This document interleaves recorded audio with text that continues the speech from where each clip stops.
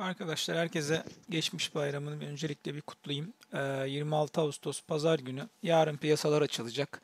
Ee, bayram bir bir hafta ara herkese iyi geldi. Herkes daha bir sakinledi. Dolar da biraz sakin geçirdi. Geçen haftayı attığım tweetlerde zaten yataya girdiğinden bahsetmiştim.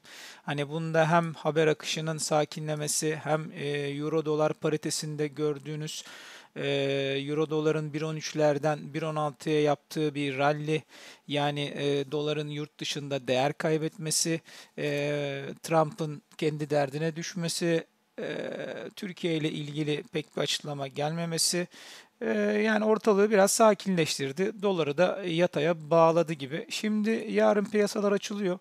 Ağustos'un e, son haftasına giriyoruz. Şimdi bu Brunson krizi hala tekrardan bu hafta gündeme gelecektir.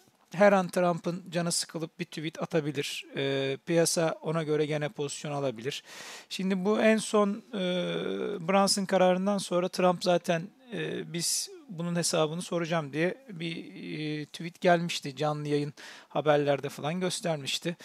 E, S&P Moody's zaten not düşürdü. O beklenen bir şeydi. Ama burada artık e, şunu konuşmak lazım. Şu anda piyasada insanlar o kadar çok bilgi kirliliği var ki herkes atıyor tutuyor. Kim ne tutturursa e, dolar 10 bin lira olacak mı? Dolar şu kadar olacak mı? Ya arkadaşlar yani Tamam hani bu kadar sıkıntı oldu etti dolar rally yaptı tamam şimdi bakalım aylık grafiği doların. Şimdi bu aylık grafik. Ee, şurada 2006 yılında daha 3.06'lardaydı. 2006'nın sonları 2017'ler başı diyelim. Ee, 4.01'di buradan e, Nisan ayında.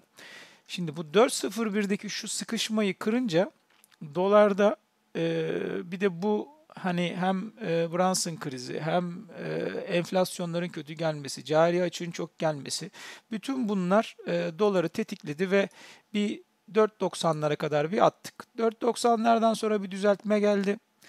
E, ortalığın krizin devam etmesi, keyifsizlikler, erken seçim yani bir sürü olumsuzluk geldi geldi Gene burada 4.97'yi kırıp yani bu sefer artık şimdi şöyle biz bir şeye teknik olarak yorumlarken şimdi önünüzde bir direnç olmadığı zaman e, ve insanlar böyle bu kadar kötü bir havada bu kadar haber akışının bu kadar olumsuz şeyin olduğu yerde e bir de şimdi şöyle düşünün büyük firmaların dolar borcu var insanların dolar borcu var.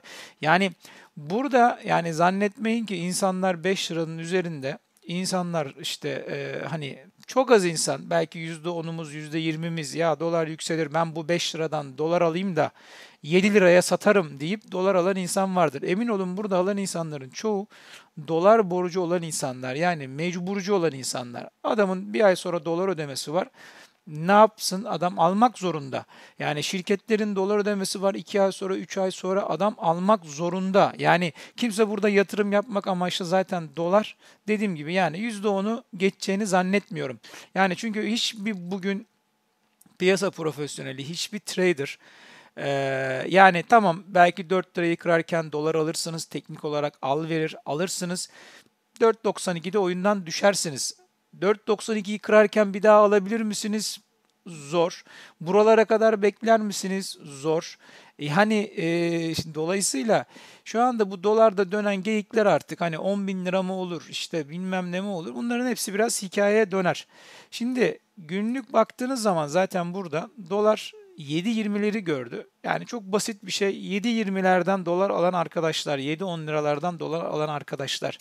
Belki bir ay iki ay sonra 8 bin lira olacak. Bunu bilemeyiz. Şu andaki psikolojileri sizce nedir? Yani adam 7.20'den 7.10'dan dolar almış. Milletin gazına gelmiş 10 bin lira olacak diye. E, dolar bugün 6 bin lira. Kaybettiği para %20. E, bugün faizler zaten %25'lere geldi.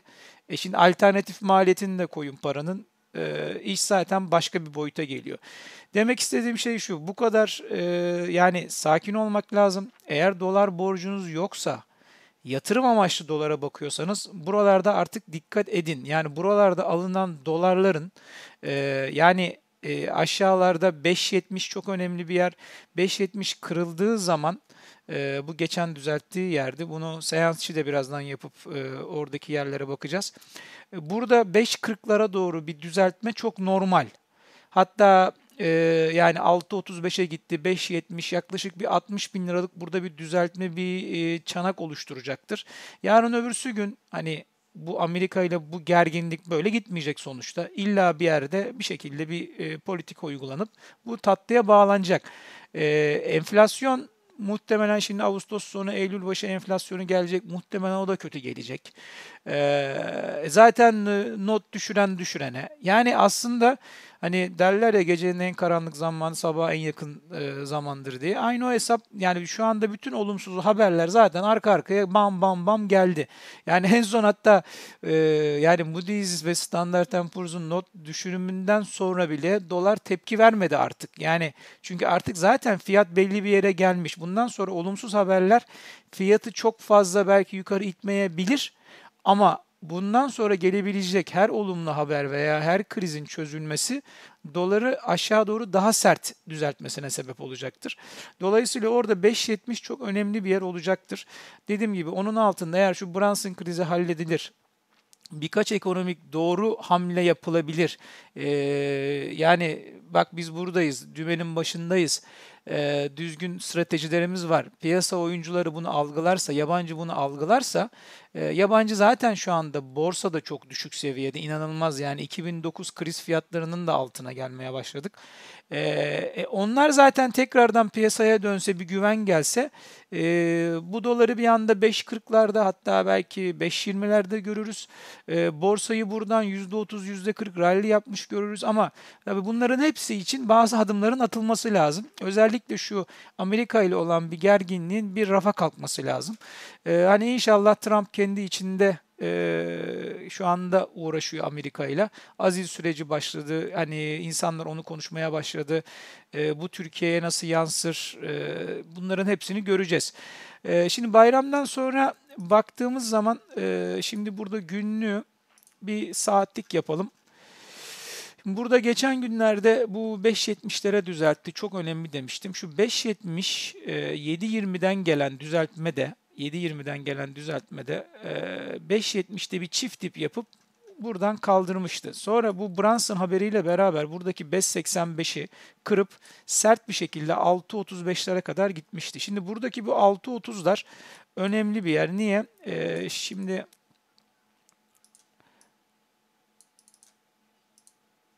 buradan 7.20'lerden düzeltirken dolar şurada 6.30'larda bir destek bulup 6.30'lardan 6.58'lere bir tepki vermişti 30 bin liralık. Sonra oradan dönüşte 6.30 kırılınca 5.70'e doğru rally sert oldu. Yani e, şimdi burada artık 5.70 çok önemli pivot nokta.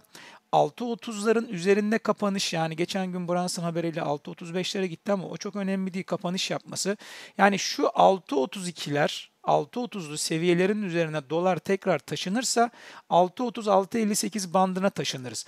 Ama şu an itibariyle yani doların bayram süresince değer kaybetmesi, haber akışının sakinlemesi yani dolar zaten hani bir düşüş trendinde de bir dışına çıktı e, cuma günü Sonra tekrardan altına doğru indi. Şimdi Eylül başında Ağustos enflasyonu gelecek. Muhtemelen bu da biraz keyifsiz gelecek gibi gözüküyor. E, haber akışları beklenecek. E, yani dolara bakarken artık e, daha e, minimize bakmamız gerekiyor. Çünkü dalga boyları çok büyüdü.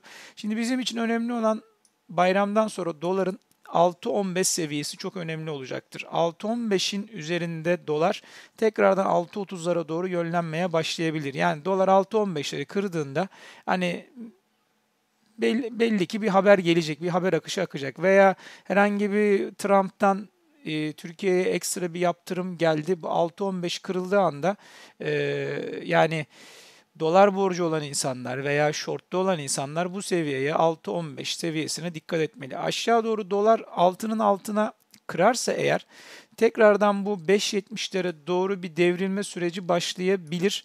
Burada 5.86 seviyesi önemli seviye. Şurada 5.70-5.86 arasında bir direnç yapıp hareket başlamıştı. 5.86'lar zaten şimdi burada bakarsanız 6.15 6 aralığındaki şu çanak hedefi zaten 15 liralık 5.85'lere denk geliyor. Aşağı doğru dikkat etmeniz gereken yer altının altında 5.86'lara kadar bir düzeltme gelecektir.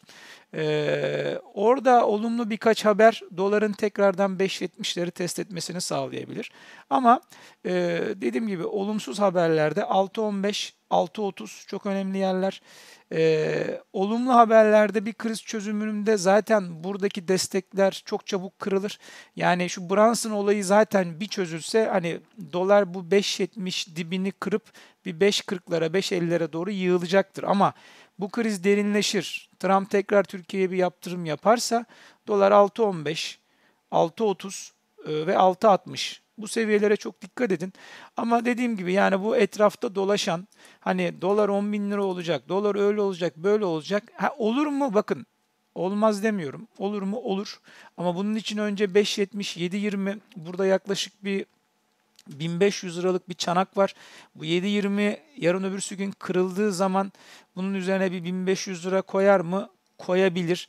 Ama bu kalıcı olur mu pek olacağını zannetmiyorum. Yani şu hareketin olması artık dolarda. Yani tamam buradaki hareket zaten 5 liralardan bu rally başladı. Dolar %50, %60'a yakın yaptı 2-3 ayda.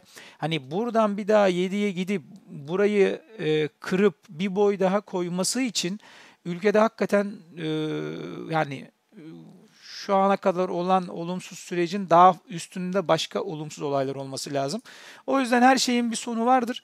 Bu kadar karamsar olmayın. Ee, dediğim gibi artık birazcık daha rakamlara odaklanın. 6.16, 6.30 bu seviyeler bunlar yukarı doğru dirençler önemli. Bu fiyatların üzerinde olmaya başlarsa dolar o zaman hani borcunuz varsa e, ya dolar hani yukarı gidebilir kapatayım veya shortçuysanız shorttaysanız dolar tarafında 6.16 6.30'ların doğru yavaş yavaş pozisyonu stoplayabilirsiniz. Ama dediğim gibi yani bu olaylar düzeldiği zaman da doların e, tekrardan 5.70'i kırıp 5.40'lara gelmemesi için hiçbir sebep yok. Bunu da göze alın. Dediğim gibi yani burada bundan 10 gün önce panikle 6.80'den 7 lira alan dolar alan insanlar var. Yani bu fiyat buraya boşuna gitmiyor zaten. E şimdi buradaki insanlar e, şu anda %15, %20 paralarını kaybetmiş durumdalar. Ha işte diyorlar ki ya dolar işte öyle olacak, böyle olacak. Yani e, dikkat etmekte fayda var. Burada dolarda ciddi bir prim oldu. Şu anda faizler zaten yükseldi. Zaten bugün yüzde %20, %25'lerde faizler var. Zaten altılı rakamların üzerine koyduğunuz zaman e, zaten o alternatif getirinizi sağlıyorsunuz. Hani bunlardan dolar yatırım amaçlı almak arkadaşlar artık biraz riskli. E, buradaki riski alacağınıza borsa tarafında e, İMKB 30'dan herhangi bir kağıt seçip girmeniz bence orada almanız gereken risk çok daha az. Çünkü kriz fiyatlarında e, buradan yukarı en ufak bir şey olduğunda %30 seker. Yani dolar buradan %30 üzerine koyar mı? Yani bunlar zor. Dediğim gibi sakin olmak lazım. Fazla böyle etrafta dolaşan e, dolar öyle olacak, böyle olacak, uçacak, kaçacak diyen laflara çok kulak asmayın. E, tekniğe göre iş yapın. Dediğim gibi dediğim seviyeler e, 6.16, 6.30 e, aşağıda 5.86, 5.70 desteği e, bu haftaki pivot noktalarımız bunlar olacak. E, enflasyona göre de e, dolarda bir hareket daha gelebilir.